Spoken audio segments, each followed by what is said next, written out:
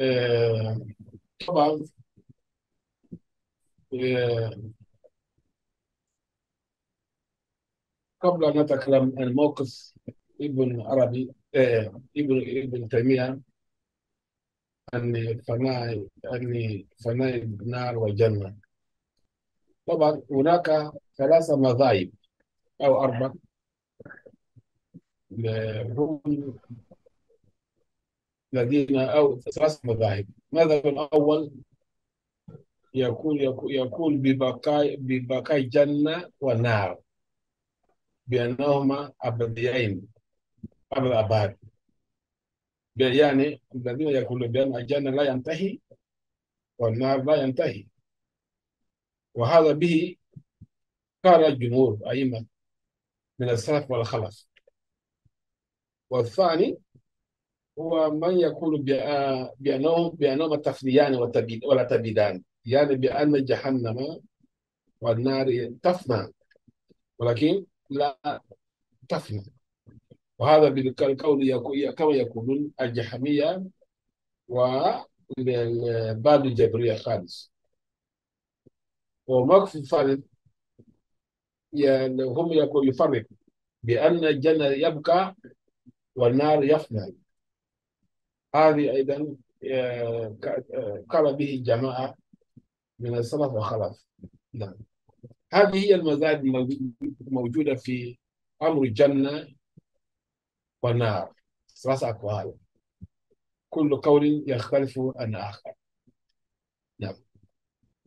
وكل واحد له أدلته. نعم. آه. ذهب الجمهور إلى بقاء الجنة والنار ودوامهما إلى ما لا نهاية. وقد اعتمدوا في في ذلك على ما ورد في القرآن الكريم والسنة المطهرة من الآيات والأحاديث التي تدل دلالة واضحة على بقائهما بقاء سرمديا طبعا هؤلاء الذين يقولون بأن الجنة تبقى والجن والنار إذا تبقى أبدا الأبد له دليل من القرآن والأحاديث. أما أبدية الجنة والنار لا تفنى مما هذا لا تفني وهذا مما يؤلم بالضرورة. لأن الرسول عليه الصلاة والسلام أخبر به الصحابة. ولذلك كان الصحابة رضي الله عنهم ومن بعدهم من أئمة المسلمين يعتقدون بذلك مؤتمرين فيه على الناس الكتاب والسنة. أما النصوص الكتاب الدالة على على هذه الأبدية منه والذين آمنوا وعملوا الصالحات سندخلهم جنات تجري من تحتها أنهار خالدين فيها أبدا. وعد الله حقا ومن أصدق من قيلا صف النساء طبعا لو ننظر في هذه الآية هذه الآية الكريمة صريحة في أن خلود أهل الجنة في الجنة مؤبد إلى ما لا نهاية. نعم.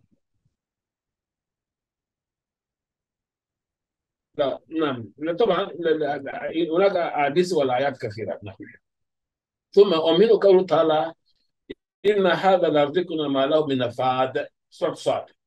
وقوله تعالى أكلها الدائم سورة أعراف وقد وصف الله تعالى في هاتين آيتين نعيم نعيم نعيم الجنة التي يفضيها الله سبحانه وتعالى على على عباده في الجنة بأنها لا تنفد ولا تزول بل تبقى دائما وأبدا وهذا يقتضي أيضا دوام الجنة وبقائها.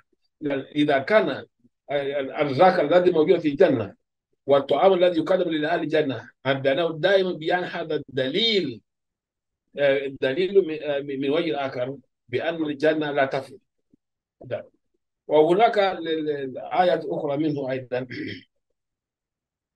نعم. لا يمسهم فيها نسب وهم فيها وهم منها وما هم منها بمخرجين طبعا فإذا كان أهل الجنة لا يخرجون منها فمعنى ذلك أنهم فيها في الجنة بقاء. والبقاء الجنة يعني بقاء مؤبد. وهذا الدليل الذي استدل به الجمهور. كثيرة جدا. وهذه الدلالة واضحة إذا فتحت أي القرآن لا تستطيع تمر بصفة صفتين إلى أن تجد هذه الآيات التي تدل على بقاء الجنة وبقاء النار. نعم. إذا نظرنا إلى أدلتها الآن من السنة وأيضا كثيرة وأن عبد الله وأن عبد الله قال أن رسول الله صلى الله عليه وسلم قال يدخل يدخل الله أهل الجنة جنة ويدخل أهل النار نارا. ثم ثم يكون مؤذن بينهم فيقول يا أهل الجنة لا موت ويا أهل النار لا موت كل كل خالد فيما هو فيه. نعم. وحديث آخر أيضا يقول يقول عن سيد الخدري أن وأبي هريرة النبي صلى الله عليه وسلم قال ينادي منادي هل لكم أن تصيحوا فلا فلا تسكبوا أبدا؟ ولكم أن تنعموا فلا تيأسوا أبدا. إذا هذان حديثان يصرحان بأن أهل الجنة إذا دخلوا إذا دخلوها فهم فيها يخالدون إذا هذه الأحاديث بعض الأحاديث الذي تدل على بقاء الجنة على بقاء الجنة أبدا. أما أدلتهم في من القرآن أيضا على بقاء النار أيضا طبعا هذا كثيرا جدا. نعم. إذا الذين كفروا وظلموا لم يكن الله ليكفر لهم ولا ليهديهم طريقا شوف مثال. إن الله لعن الكافرين وعد لهم سعيرا خالدين فيها أبدا. ثم وقوله تعالى وما هم بخارجين من النار. وكلما أرادوا أن يخرجوا منها أعيدوا فيها. نعم. و و و ثم قوله تعالى إن إن عذابها كان غراما. والذين كفروا لهم نار جهنم لا يقضى عنهم فيموتوا ولا يخفف عنهم من عذابها كذلك نجد كل كفار. نعم. كل هذه الآية الآن أيضا تقول دلالة واحد واضحة بأن أهل الجنة بأن أهل النار مؤبدين. يعني جمهور جمهور المسلمين يستدلون بآيات وأحاديث النبوية التي تدل على بقاء الجنة دائما. طبعا عندهم أيضا الإجماع دليل دليل أدلات الإجماع ودليلات وأدلات التأكيد أيضا. وأما إجماع فقد عن القرطبي قوله عن ذلك فقال فمن زعم أنهم يخرجون منها وأنها تفنى وتبقى خيالية خيالية. أنها تفنى وتزول فهو خارج عن مقتضى ما جاء به الرسول وأجمع عليه أهل السنة. نفس الشيء يقول أبو منصور أبو منصور أبو منصور عبد القادر بن طاهر التميمي البغدادي.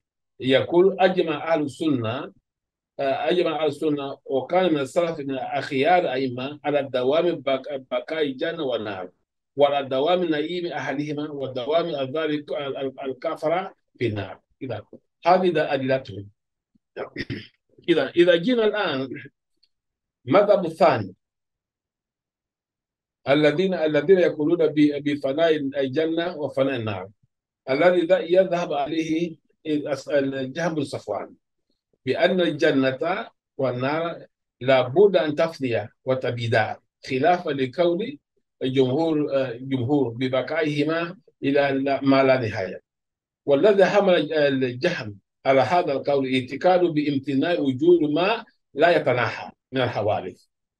فرأى أن ما يمتن من الحوادث لا أول لها في المال يمتن كثيرا يمتن أيضا في المستقبل. فالدوام في ما لا نهاية له ممتن على الله سبحانه وتعالى في في المستقبل كما هو ممتنع في في المال طبعا هذه الأدلة الفلسفية منه. نعم.